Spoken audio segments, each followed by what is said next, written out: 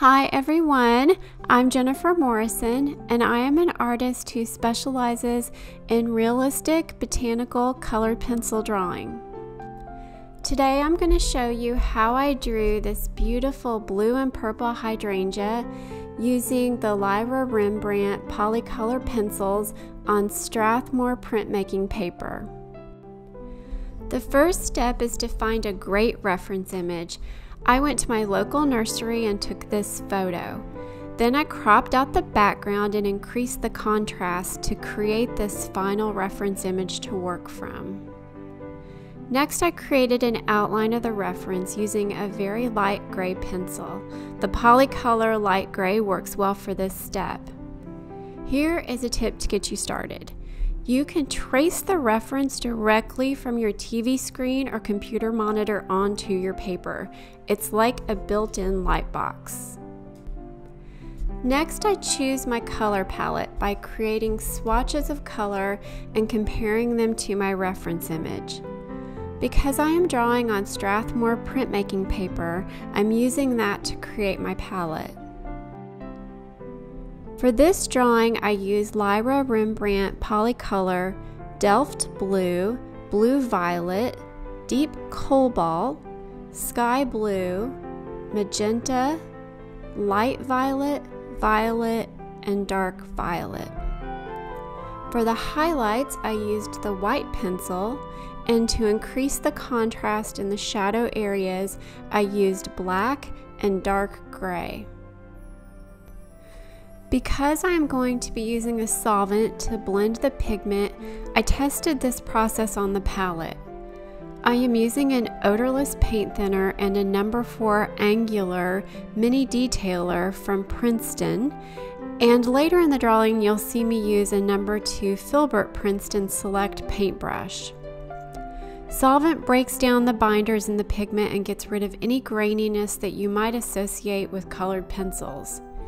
If you don't like using solvent, you can use a colorless blender like the Rembrandt Splender or simply continue layering your pencils until you have a smooth finish.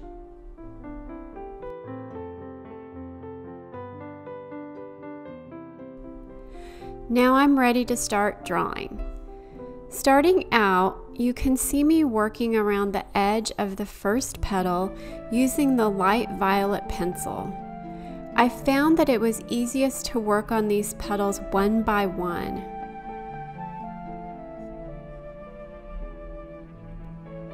Here I'm using the Delft blue to start blocking in the interior of the petal. This is a really pretty color that looks nice when combined with the light violet.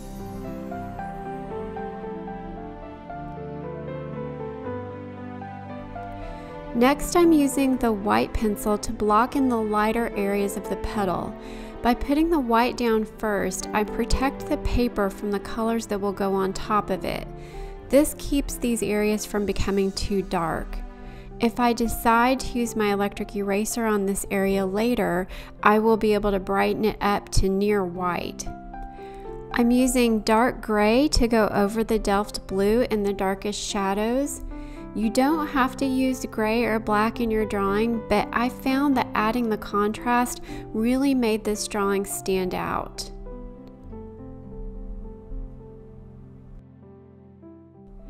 After that, I will just continue to layer the colors until I'm ready to blend.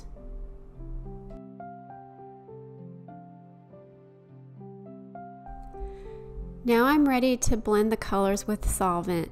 The polycolor blended beautifully, which is important to me for my techniques.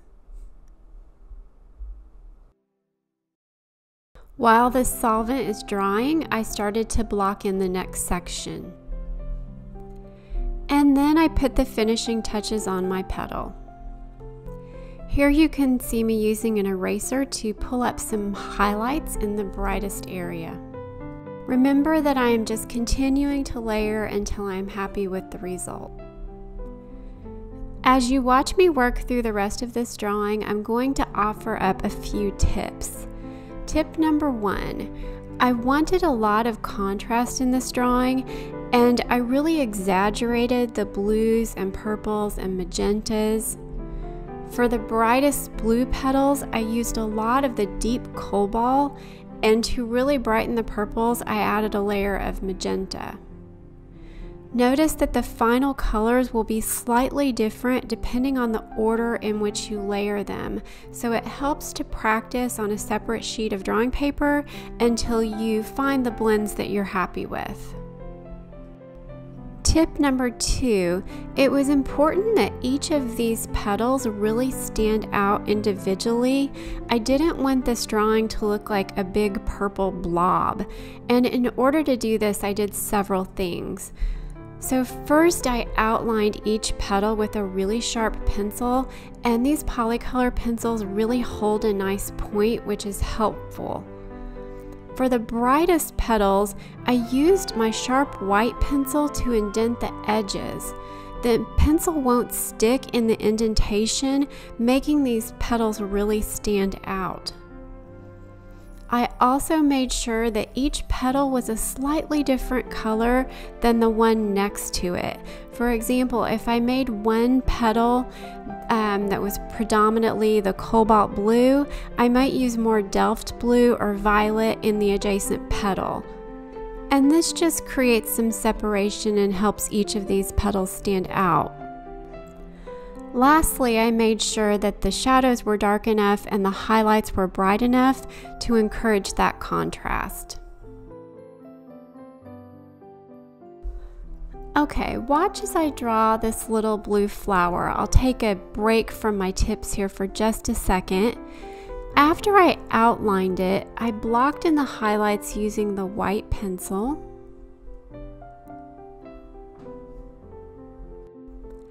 And I even indented the paper with some tiny white details so that those white details will stand out really well.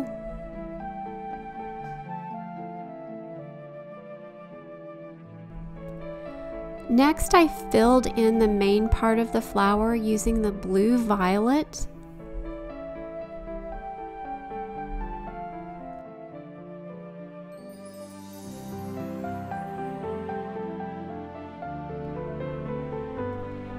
I'm using the electric eraser to brighten up the white details. And then I'm going to follow that with the white pencil to smooth things back out. Alright, back to my tips. Tip number three this reference might look really intimidating to you, and there is a lot going on in this drawing, but this means that you can make a mistake and it won't be very noticeable. If one petal is slightly off or the wrong color, no one is going to notice. I accidentally made one of the purple petals blue, and there's no way you can find it. So don't panic if something like that happens. If you break this down like a puzzle and just draw one petal at a time, even a beginner will have a spectacular drawing at the end.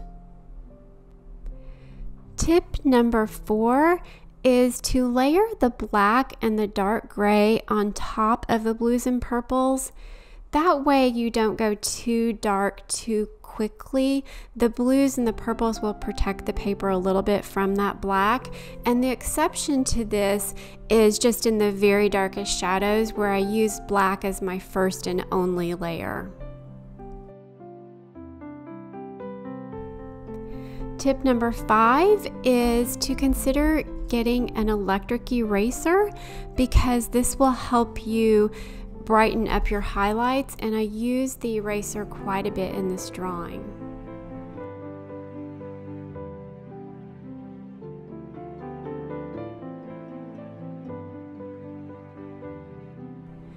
And once again, here is my completed drawing with the selection of the products that I used here. I really enjoyed working with these Lyra Rembrandt Polycolor pencils and I am excited to start my next project. Thanks so much for watching everybody. Bye.